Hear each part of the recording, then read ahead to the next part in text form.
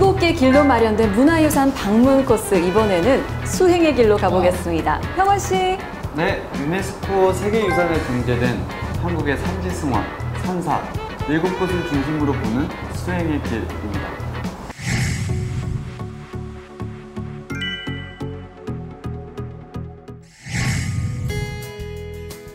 네, 우리나라 불교가 전해진 건 삼국시대 때였는데요.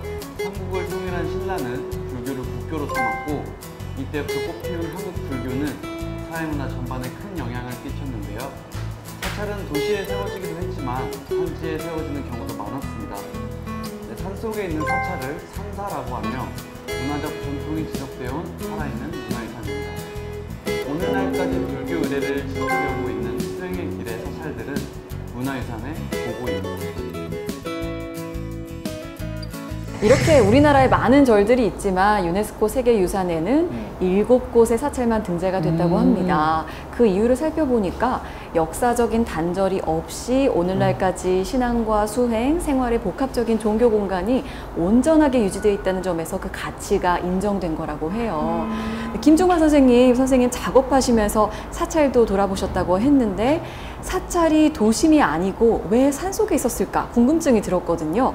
드시는 생각 있으세요? 음, 우선은 이제 그 우- 우리 대한민국 우리나라의 어, 절경 안에는 사찰이 있습니다. 빠지지 않고 있습니다. 네. 어, 좀더 음, 우리가 현대 시, 우리 시간을 돌아보면은 어, 불교가 있었고 그 다음에 군인들이 있어요.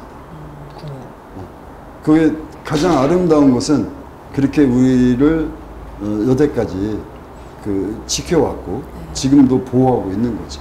그러니까 산 속에는 조금 우리가 보면 이제 그 현대인으로서는 좀 명상, 명상, 그 약간 medita, meditation이라고 그러죠.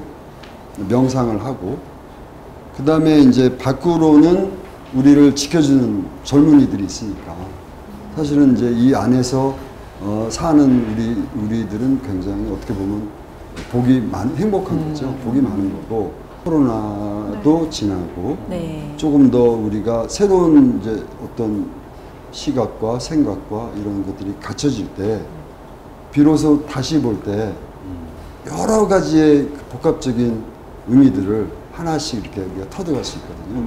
그러니까 지금처럼 그 등재된 곳 그것도 물론 이제 어, 봐야 되지만은 그렇지 않은 수많은 아름다움이 있는 곳이 어, 그 제가 뭐 어, 약간의 어, 사진가로서 이렇게 다녀보면은 그 예를 들어서 뭐 사막을 간다. 그러면은 아무것도 없거든요. 근데 우리는 아주 깊은 곳에 뭐 사찰도 있고 아니면은 뭐 샘도 있고 또 계곡도 있고 네. 또뭐 이쪽에 보면 뭐 거대한 산들이 그래서 사실은 우리 그 대한민국만 이렇게 천천히 다녀봐도 꽤나 오랫동안 어, 다닐 수 있고 형원 씨는 절에 가보셨어요? 저 같은 경우는 이제 할아버지가 네. 불교 신자셔가지고 어렸을 때 그 음. 할아버지 따라서 이렇게 따라 다녔던 그런 기억이 있습니다. 네. 민혁 씨는 어떠세요? 저는 굉장히 사실 먼 느낌이었어요. 왜냐면? 평소에 가보지도 못했고 이제 TV로 보는 게 거의 전부였는데 이번에 또 형원이랑 같이 가면서 좀 네. 새롭게 느끼는 계기가 됐던 것 같아요. 아, 나름대로 뭐 에피소드도 있을 것 같은데 네. 일단 먼저 절 구경 해보겠습니다. 네. 형원 씨 소개 부탁드릴게요. 네, 이곳은 정말 아름다운 절인데요. 머무르면 마음이 평온해지는 곳입니다. 순천에 있는 서남사를 소개해드릴게요. 이 통일 신라 시대에 창건된 것으로 전해지는 서남사라고 하는데요. 이 풍경 보세요. 빼어나고요.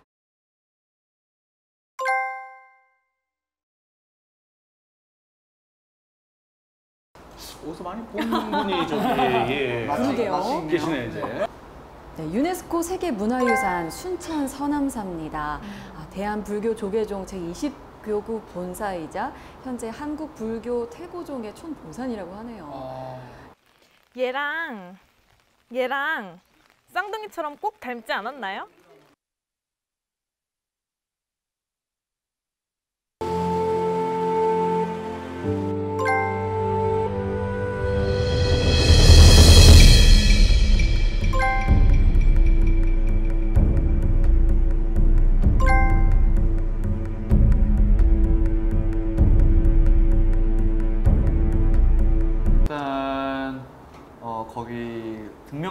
네.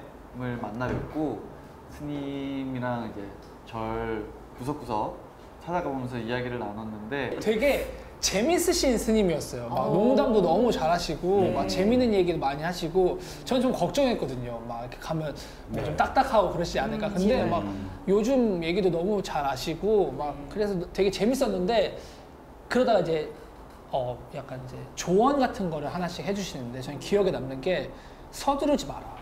서두르는 것이 가장 서툰 것이다. 이렇게 얘기해 주셨는데 아, 라임이 오지네요. 일단 라임이잖아요. 그래서 제가 그 얘기가 계속 꽂히는, 거, 꽂히는 예. 거예요. 그래서 그 약간 돌아보게 되는 계기가 되게 됐고 너무 예쁜 것들이 많아요. 뭐 보물 400호 그 다리도 있고요. 뭐그 600년 된 어, 있고요. 600년. 네, 그래서 제가 600년이나 됐어요. 그랬더니 숫자에 너무 연연하지 마라. 600년은 스님께서 바로 600년은 앞으로 100년 지나도 여기는 600년이라 써 있을 거고 200년 지나도 600년이라 써 있을 거다. 대충 보니까 600년인 거지 그 숫자에 의미를 두지 마라 했는데 제가 뭔가 딱 약간 부끄러워지는 어. 그런 느낌이었어요. 서둘렀네. 네, 제가 제가 잘못 같아요. 근데 또 차도 드셨다고요. 네 그쵸 거기서 이제 스님 분들이 직접 네, 직접 만들어서 이제 그게 이제 이름이 작설차예요. 그래서 아. 저는 아, 작설차. 눈, 눈 내리는 날 만들어서 작설차인가 했는데 그게 아니라 참새 혀를 닮았다 해서 작설차더라고요. 아, 그 찻잎이. 네. 아. 그래서 그 참 그 그 조그만 걸 1년 내내 다 따셔서 아. 그또 그 티백을 만들어서 만들으셔서 저희한테 이제 굉장히 고가더라고요. 그래서 그거를 또 나눠 주셨어요. 그래서 얘기해 맛은 주세요. 어떠셨어요? 맛은 너무 맛있었어요. 일단 차를 저희가 접할 경우가 많이 없었는데 어, 부담스럽지도 않고 평상시에도 자주 마실 수 있을 네, 만한 진짜 그런 괜찮았어요. 맛이었어요.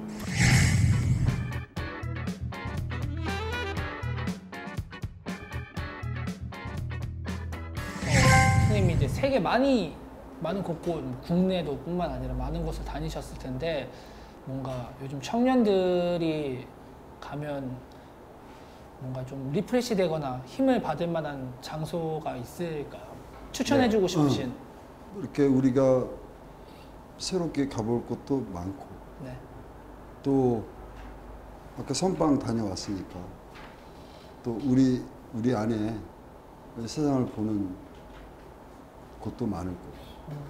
그러니까 갑자기 어느 곳에 가서 ref, refresh가 된다는 거는 음. 사실 어려운 아 그렇죠. 그렇죠? 그러니까 내 마음을 얼마만큼 다스릴 줄 알아. 그게 가장 가까운 하나의 방법이고. 아, 같이 나눌 수 있는 음, 동반자가 있으면은 그게 이상적인 거지. 맞아요. 그게 뭐 가족이 되든 친구가 되든 나가서 뭐 팬들과 같이 이렇게 꼭 가지 않더라도 어느 곳에 만날 수 있는 지점이 지역이 있어요.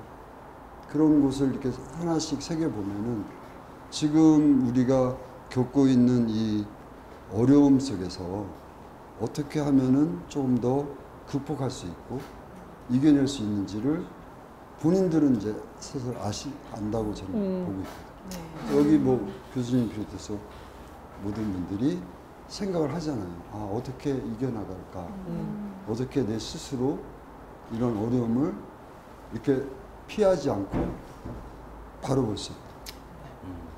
어, 추리기가. 그렇지 좀 예, 예. 절제하고 네. 그리고 그거를 정말 보물처럼 가슴에 안을 수 있는 이런 것들은 어, 본인들이 하나씩 살펴보면은 네. 아주 놀라울 정도로 뭐 어떻게 보면 뭐 우주를 보는 것 같습니다. 또 교수님 이 산사를 보면 어, 좀 서양의 관점에서 동양적이다라고만 보는 시선도 있는 것 같아요. 어떻게 생각하시나요? 서양인들이 한국에 왔을 때 제일 하고 싶은 것 중에 예, 거의 막 1순위, 2순위가 템플스테이라고 하더라고요. 물론 뭐 동양에서 느낄 수 있는 굉장히 좋은 또 하나의 관광 컨텐츠라고 저도 어, 생각을 하는데 요, 요즘에 서양 쪽으로 이제 여행을 간다거나 아니면 또 뭐 다른 일 때문에 방문을 하게 되면 이제는 서양 곳곳에도 절이 많이 만들어져 있습니다. 네. 그래서 단지 어, 동양의 어떤 전통적인 문화만으로 머무는 것이 아니라 이제 세계 곳곳에 어, 서양 사람들과도 소통할 수 있는 또 하나의 공간으로 자리를 잡는다라는 거죠. 그래서 아까 우리 형원 씨도 얘기했던 것처럼 차를 같이 나눠 마시는 어떤 그런 문화도 배워나갈 수 있고 그래서 어떤 이런 공간 자체가 예, 동양과 서양이 또 만날 수 있는 좋은 하나의 네. 매개체가 되지 않을까 저는 그렇게 생각하고 있습니다. 네. 네, 이런 시선으로 보면 좋을 것 같습니다.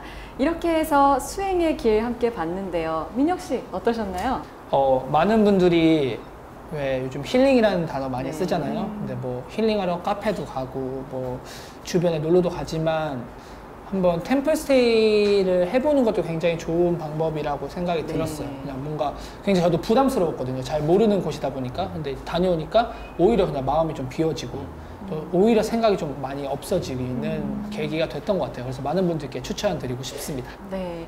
또 형원 씨는 절에 자주 다니셨던 어떤 경험도 있지만 새로우셨을 것 같아요. 어떠셨어요? 되게 바쁘고 도시에 살다가 뭔가 생각도 많이 정리가 되고 어, 신선한 공기도 마시고 하는 하는 게 앞으로의 살아가는 거 살아가는 데 있어서 많이 도움도 될 것 같고 그리고 그런 절들이 생각보다 저희 가까이에 있더라고요. 그래서 음. 그런 부분 그런 부분들이 어, 여러분들한테도 추천을 꼭 해드리고 싶은 그런 마음이 이번에 더 갔다 와서 들었어요. 먼 것 같지만 가까운 곳. 그럼요. 네, 요즘 같은 때 자연 속 산사는 더욱 가볼 만한 여행지가 아닌가 싶네요. 네, 오늘 몬스타엑스의 민혁 씨, 형원 씨와 나눈 즐거운 여행이었습니다. 고맙습니다.